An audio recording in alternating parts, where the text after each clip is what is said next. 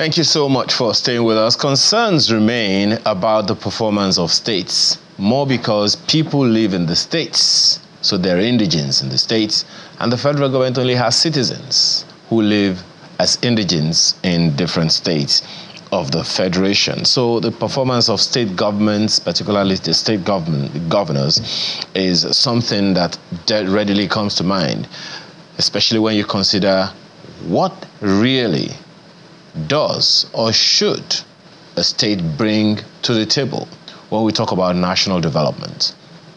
Every month, Nigerians get the news that states will share the FAAC every month.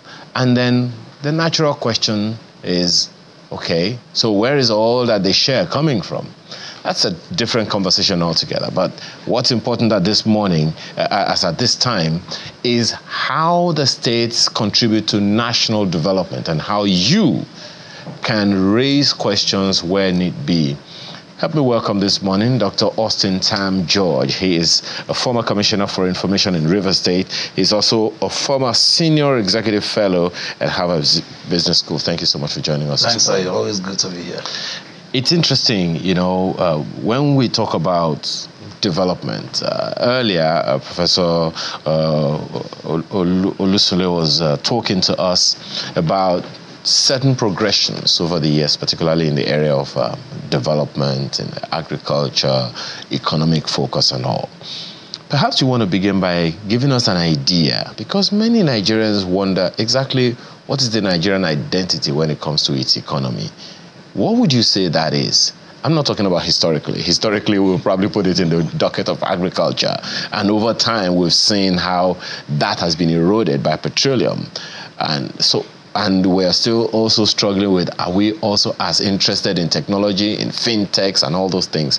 What is the Nigerian economic identity as at this time? Uh, can you hazard a guess? Yes, I mean, we still have um, oil and gas as um, the mainstay, you know, provided the mainstay of the economy. Um, over 80% of our uh, GDP is still based on the, um, derivatives from oil and gas revenue. Uh, but you know, there is a whole um, debate now across the world concerning the emergence of renewable energy and the, uh, you know, the transition away from fossil fuels um, to renewable energy. So what this means is that we need to um, here in Nigeria rethink, you know, what the economic base of our country should be. Um, I believe that the most important resource that a country has is not oil and gas or, or, or, or lithium. You know, our most important resource is our own people. Um, Nigeria has um, a very young population. I, I, in fact, they say um, over uh, 60 million of um, over 60 percent of our population is below the age of 19 so nigeria is a very young population. Now what this means um, is that we have the advantage of youth. What we therefore require is a very strategic investment in human capital development. And um, in nigeria you know education is on the concurrent list meaning that the federal government can play in the sector the state governors can also play in the sector. So what i think we should do um, if you really want to diversify economy and bring sustainability um, in terms of the growth of this uh, country, we need to have a very strategic and massive investment in human capital development. We have the population, we have the enthusiasm, we have the dynamism of youth. So what is lacking now is a very strategic vision that says how can we invest in human capital development so that we can move forward as a country. Interesting that you raised that quite, I think about two or three times we've raised an issue that's occurred on the front page of the Nigerian Tribune this morning. Many times we talk about out of school children. Kayla, every time she's on air, she doesn't shy away from reminding us of that particular number. Now it seems we have a case of out of school teachers. Hmm. To almost 200,000, 194,000 plus uh, teachers, according to UBEC. That's the shortfall of teachers in the primary schools. In fact, that report goes further to say that in some school in, in some schools in the rural areas, we have they have not more than two or three teachers in the rural areas. And uh, I'm wondering, so when you talk about human capital development, do you think we're really interested? Well, we have to be interested because, as Do I you said, think we are interested? well, we, it, it remains to be seen. We need, we need, um, if we, when we have a shortfall um, of teachers who are the drivers of of, uh, of, of um, the knowledge sector, I think we need to have strategic investment in, in, in staff recruitment.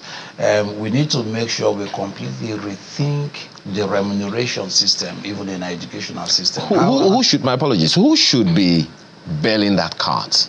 the state governors and the you know as i said you know we, education is on the concurrent list now the concurrent list of the constitution says the federal government can set the tone but the state governors also have a role to play which is why every state has a ministry of education so what that means is that you can't domesticate your educational policy per state and say this is the kind of emphasis we want to place now in terms of human capital development, in terms of how we are going to recruit our staff, in terms of how we are going to remunerate our staff, how much we are going to pay. The, state governors are completely at liberty to do this.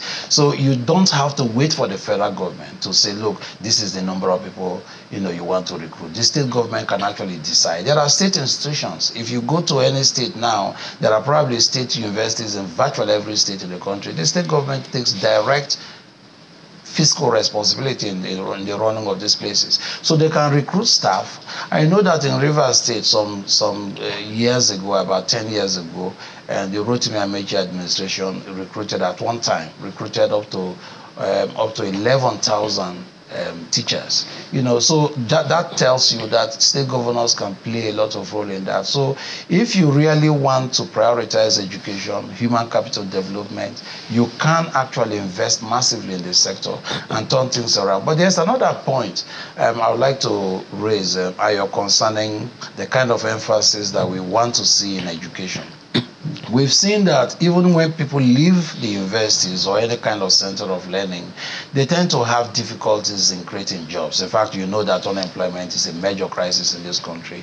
Uh, but how do you resolve that kind of problem when people are leaving the, all these centers of learning, technical schools, um, you know, universities and polytechnics, and they are barely able to find jobs? I think that we need to move away from credentialism and certification to actually place an emphasis on you know skill acquisition. So that one, once people are able to leave some of these places of learning they're able to not only get jobs but be you know be able to create jobs you know uh, for, for for others. So i think that this is a time when if you want to tackle unemployment the kind of unemployment crisis that we have we need to ask what better can we do to re-inject skill acquisition as a central focus in our educational system? You know, it's curious that you say that.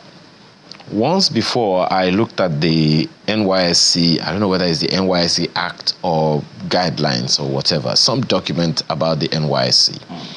One of the most critical objectives of the NYSC is skill acquisition, entrepreneurship. So even if you escaped it at the primary school level, you escaped it at the secondary school level, you escaped it at the university, at the NYSC you shouldn't. That is one of the core responsibilities of the National Youth Service Corps. Is that do you see any semblance of that in any way, manner, shape, or we, we need to systematize it. Let, let me give you an example, um, Ayo, concerning how important human resource development is. Know, as I said in my introduction, it is more important than simply getting um, natural resources. Let me give you the example of Taiwan. You know, in Nigeria, we have oil and gas and the rest of them as natural resources. But in Taiwan, do you know what they have? They have only earthquakes, typhoons. They don't have the natural resources that we have in Nigeria. In fact, in Taiwan, if they want to build houses, if they want to go into construction, they import gravel and sand from China for construction work. That's how very challenging their topography is. But you know what they did? They invested strategically in human and technical development. So China, Taiwan is just a country of about three, 23 million people, but they have the fourth largest foreign reserves in the world. They are the leaders in the manufacturing of, of semiconductors, also known as microchips. The US depends on Taiwan for 70% of its microchips uh, needs. They are the leaders in the sector. You know, so it, this is what technical education investment can do. So mm. it's not so much the kind of natural resources that you have, as much as whether you have the technical ability to drive change.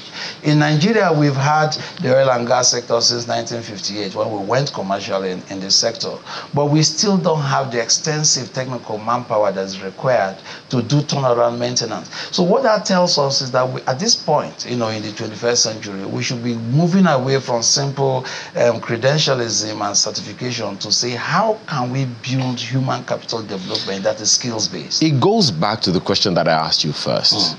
If you were to put Nigeria in a docket of identity, what would it be? You just cited the example of Taiwan, and you've argued my case. And the same thing goes for China.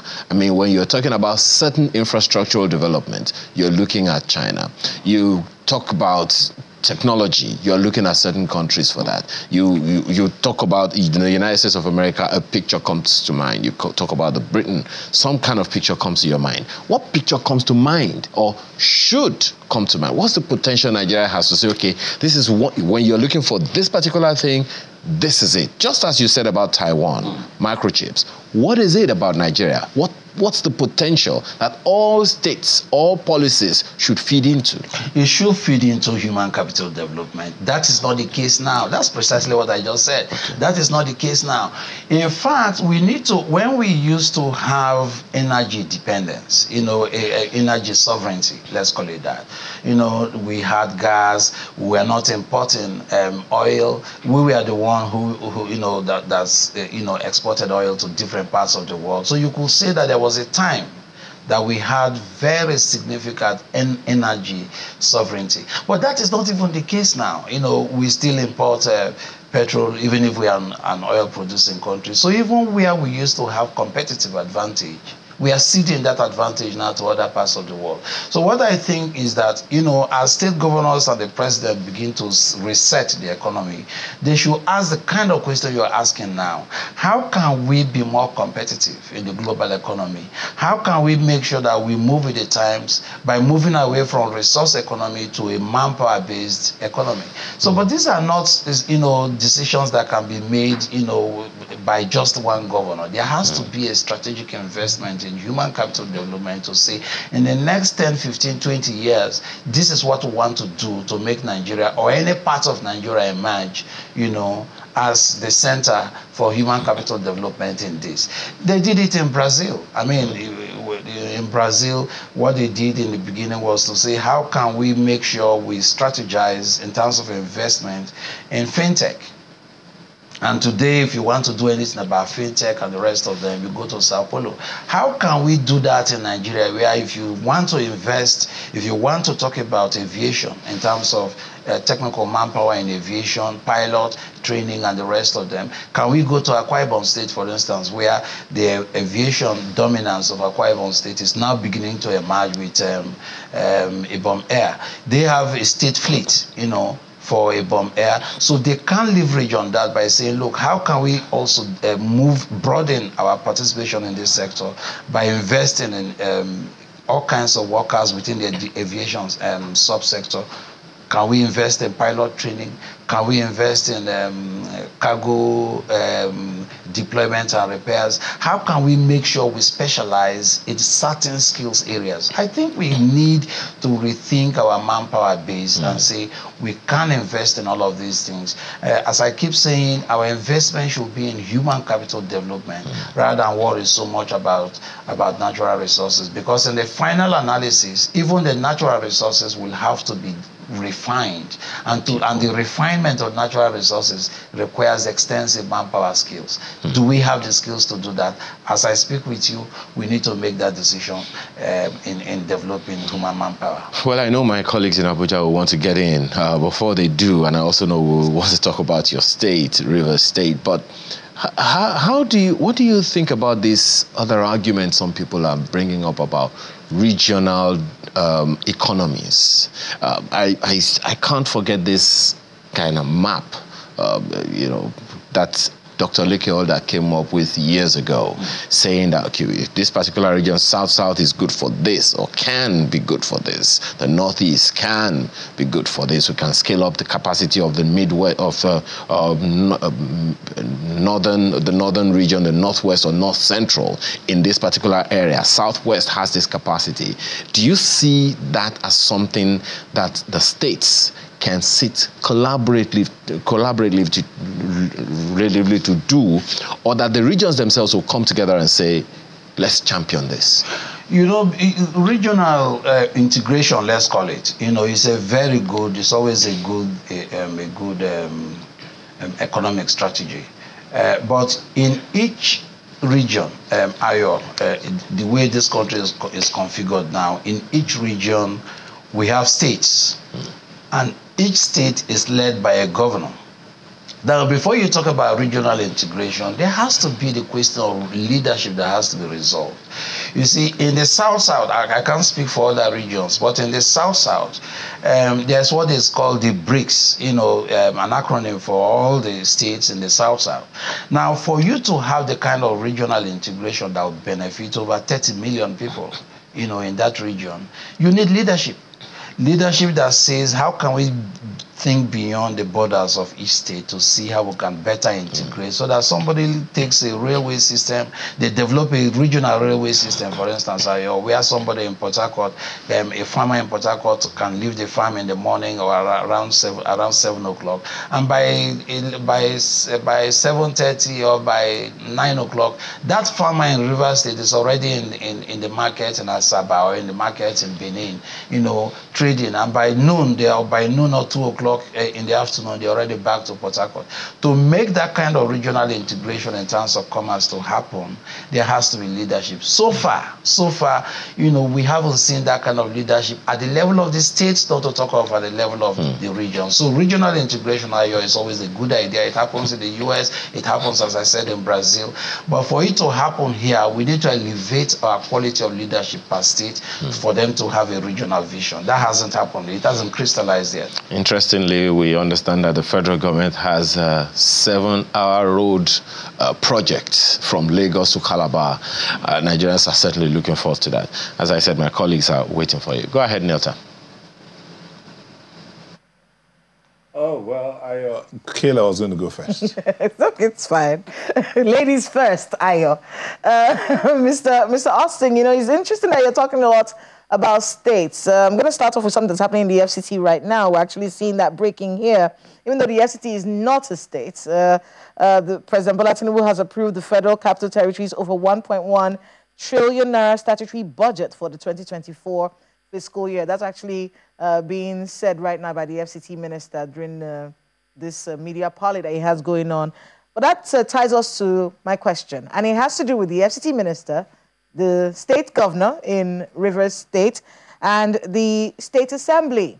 This impasse uh, between these three parties, there has been attempts to broker some kind of peace, some kind of agreement. The president waded into the matter, but we're still seeing all of this going on. Could you talk to us a bit about the situation on ground in Rivers State, where you used to be uh, Commissioner for Information? This situation in Rivers State and how, in your view, it could negatively or maybe positively impact governance in the state? Well, you know, I try not to dabble into politics since I'm not one, but I think the, the facts are quite clear. Um, there is no litigation concerning the governor's status as uh, governor. He's already been certified, um, elected by the Supreme Court, so he has an unquestioned mandate, you know, to roll out his agenda for the benefit of, of, of over 7 million people of, of River State. Um, there is some, some um, controversy and understand there are quite a number of cases in court concerning the legitimacy, if not the legality of the um, state assembly members. Uh, I understand they defected uh, from their previous party to a new party. Um, and, the, and, I think the laws are quite clear um, concerning those who, who defect um, um, in, in that manner. So until their, their, their legality is re-established through the, the various litigations now underway, um, some people, there's a very uh, preponderant feeling in River State that um, those who have defected from the from their parties um, have automatically lost uh, their seats. So there, there's a serious legal question that is underway um, as far as those uh, mem uh, members of the assembly are, concerned. You, you asked, um, the other segment of your question deals with um, the FCT minister. I think I've made that point earlier when I was here in one of the shows that the FCT minister's mandate is now very strictly limited to his office and responsibilities in Abuja. He has no business inter interfering, not alone, let alone meddling in the affairs of River State. River State has a legal and legitimate government. Um, I think we should give them the time and space to roll out the agenda so that um, they can move the state in a different direction. Actually, what we're trying to get from you was the impact uh, all of this would have on governance in the states, as we're talking about, you know, what states are bringing to the table and how they are going to bring their people out of poverty, managing the economic situation in their states. The, the, the state, what the state governor should do um, is just to keep the focus on his promises. Um, I've seen his budget. I think um, um social um, the, the budget provision for uh, fiscal year 2024 for River State um, says um, he's budgeting two, um, 128 billion naira, I think, for social uh, development. Uh, social development means investing in, in, people, in lifting communities out of poverty. That's a massive amount of money, uh, meaning that a lot of work has to be done in the social sector. I encourage the governor to go about it without distractions. Um, you know, there is also an investment in education that I've seen uh, from the budget. Um, the, the budget for education is, I think, 40 billion naira for fiscal year 2024. That is 57 percent higher than previous budgets that I've seen in the state. And that's a very commendable emphasis. And I think that the governor has very clear um, objectives and he should just avoid distractions and go straight to fulfill uh, what the objectives are. As I said, we have seven uh, million people in River State or so people are doing business and there is now an appetite to reinvest and bring back businesses in River State. I think the government should be focused on those very important people-oriented um, objectives rather than worry about, about politics. My own attitude to public office is that once elections are over, uh, the government is now officially in a social contract with the people um, in order to roll out objectives and try to change the material conditions of the people. Um, and I think that should be be the focus of the of the of the government because in the final analysis, nobody is going to judge the governor based on his fights uh, with his uh, predecessor. They are going to judge him and his administration on the basis of what positive impact uh, they were able to, to make with this historic opportunity to serve the state. So I think he should focus on his objectives and uh, allow the distractions for, for another time. Uh, Dr. Tam George, indeed, uh, good advice for the governor. But let's look at some other governors.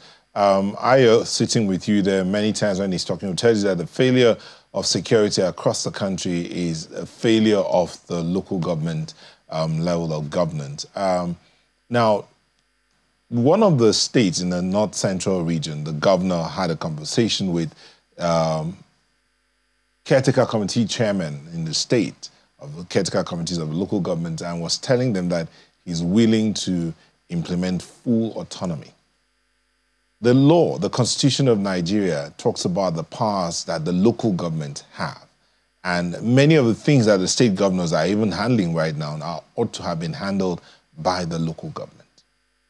Is it a question of party politics or inability to read through the Constitution and understand what the local governments are doing, are supposed to do, that the governors are not allowing them or seemingly not allowing this, the local governments to function as they should.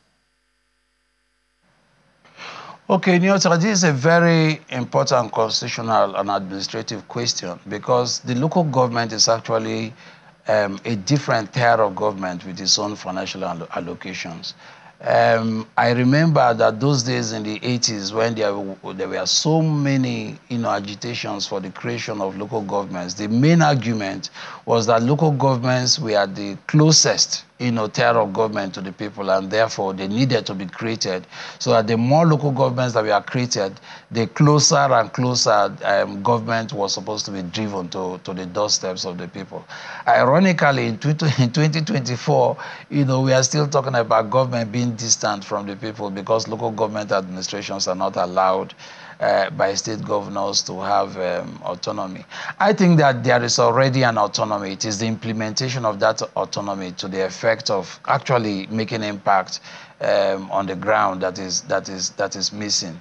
Um, the irony uh, uh Nyota is that while the state governors are asking for more and more powers from the central government, they seem to have less appetite to cede more powers to local governments that exist within the within the state. So what I think is that we should have very strong local government administrations. Whatever uh, financial allocations are due to the local government should be sent to the local governments so that they can, you know, execute developmental projects that are directly impactful to the people.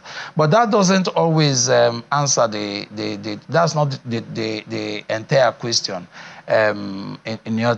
We still need to have structures of accountability even at the level of local governments. I can tell you, as somebody who has been in government myself, that allocating resources do not automatically does not automatically mean that the, those resources, even when they get to the local governments, uh, will be will be uh, you know judiciously used. So I think that across the board, what we need is not just the autonomy, but the corresponding structures of transparency and accountability in the deployment of state resources, whether it is at the federal government level, at the state level, or at the local government level. So autonomy, you know, at the theoretical level, constitutionally is fine, but how do we make sure we build those structures of accountability so that people can see exactly how much has gone to the local governments and how judiciously those amounts have been spent. I worry that we do not yet have those structures of accountability that are effective to hold uh, some of these public officials to account at all levels of government. So, where do we go from there? How do we set up those parameters to for of accountability? There are there are two ways you know we can do this. The, the first is to make sure we strengthen the local councillors because at the local government level, the councillors are the lawmakers. You know they are the ones who will hold the chair the chairpersons to account to say, look, we have a budget. How much have you spent? How can we verify these projects? Is there an auditing process? All of that. You know, we need to strengthen those structures.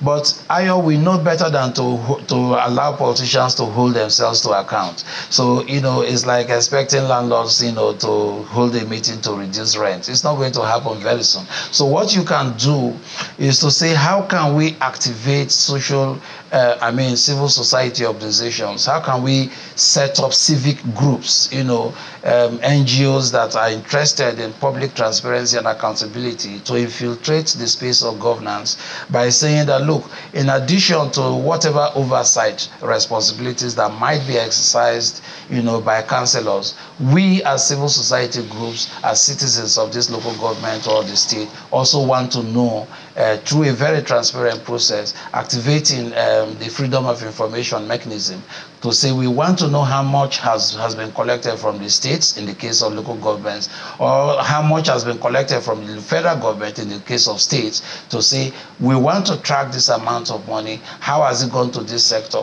How has it uh, been able to impact the people? How can we do a social impact assessment of government policy and all that? So what i think is that maybe we need to broaden our understanding of how democracy works unfortunately we tend to think that democracy only means that every four years we vote. But that's not the case. We actually need to be awake immediately after the election to make sure that we are involved in a very participatory and interlocking process of engagement with public mm. officials in order to get accountability happen. But how about the people? I mean, I know that if civil society, they are part, they are Nigerians. Mm. A good number of them are Nigerians. Mm. Even the politicians themselves are Nigerians. Mm. But a situation where on the social media, which has literally democratized or deregulated, so to speak, the media space one way or the other. Of course, people always know where to authenticate the information that they get on social media. Mm-hmm. Is there a way to engage with the people using these new technologies, new media technologies,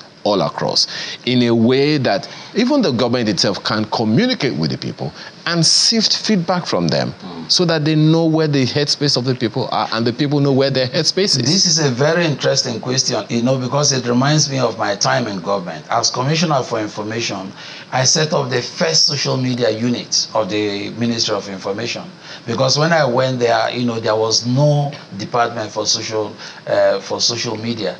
And I felt that today with the emergence of new technologies, um, citizenship itself has been redefined People are, you know, geographically disaggregated, and yet they are interested in what happens in a particular location. For instance, there might be investors outside of River State who do not necessarily live in River State but are interested in what is happening in River State. The only way you can reach them uh, in a way that beats both geography and time is to make sure there is an active social media engagement protocol. And I, I established that. And I think this is something that a lot of state governments and local governments, you know, can, can establish to okay. say, look, how can we use, you know, new technologies to open the space for for participation. But the point you raised about how more and more people can get involved in the governance process is very important. How can we make sure that we raise civic consciousness? In Nigeria, people are so desperately poor that they think that accountability and transparency are abstract concepts because they are more interested in the next meal, they are more interested in house rent, they are more interested in school fees. You know, so we need to elevate the social consciousness of our people to understand that look, even poverty is a social condition. Satan plays no role role in that. And a lot of these things, poverty and wealth, are direct products of government policy sometimes and individual entrepreneurship, of course. So we need to make sure that people get involved and not fall back once the government is constituted, the government, the people themselves should be part of the process of governance by asking questions, setting up civic groups, litigating, getting more information, asking mm. questions, and demanding answers. That is the only way we can hold public officials to account and become more participatory in the process that governs our system. All, ultimately, the, uh, the objective is for a better developed Nigeria. Absolutely. Thank you so much for being here this morning. Dr. Austin Tam George is former Commissioner for Information in River State. He's also a former executive, senior executive fellow at Harvard Business School. Thank you so much again for your Thank time you, this morning. And that's our show today. Thank you so much for the privilege of being a part of your morning. I'm Mayo Makinde. Do have a wonderful first day of work in this April. A wonderful day. And also, very, very wonderful day to all of you uh, who are joining us here in the Abuja studios. Thank you all so much for tuning in. It's a very special day for us in Abuja, isn't mm. it? Yeah, a couple we, of our people happy yes, birthday, Mark. Well, we have, we have birthday today, Larry Lassisi's birthday today as well. So we're leaving you so we can go party. Yeah, sorry. Some of us have work to. and work has resumed. The holiday is over. Thank you for letting us be a part of your morning. Go be the best you can be. And it's a new quarter. Let's make the best of this new quarter. Neo Tiger. I'm Kayla Magua. Enjoy the rest of the day.